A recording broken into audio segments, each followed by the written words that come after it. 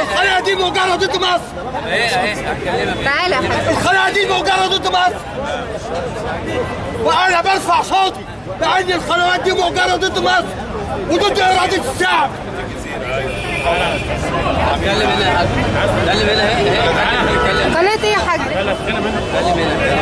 أنتوا بتاكلوا بالفلاحين أنتوا واقفين هنا عاملين بهوات على حساب الفلاحين اسكت ما تتكلمش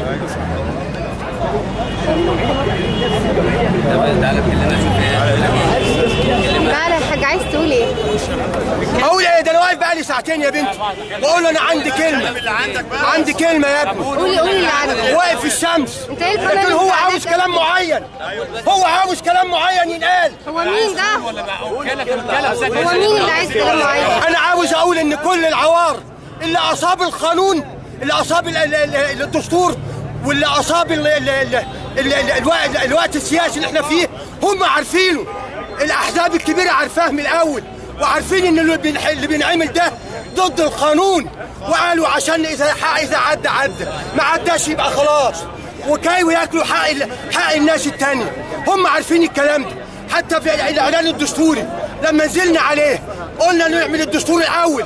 قالوا لا ننتخب الأول يا جماعة نعمل الدستور الأول قالوا لا نعمل القائد الأول ومشوا كلامهم بالقوة. وليس احتراما للقانون. في قانون في البلد. في قانون. لازم نمشي على الكل. على الكبير وعلى الصغير. والحزب الكبير.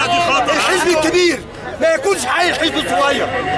الحزب الكبير ما يكونش عايل الحزب الصغير. هم عارفين اللي هيحصل ده. وهم عارفين العوار اللي اصاب القانون بتاع الانتخابات.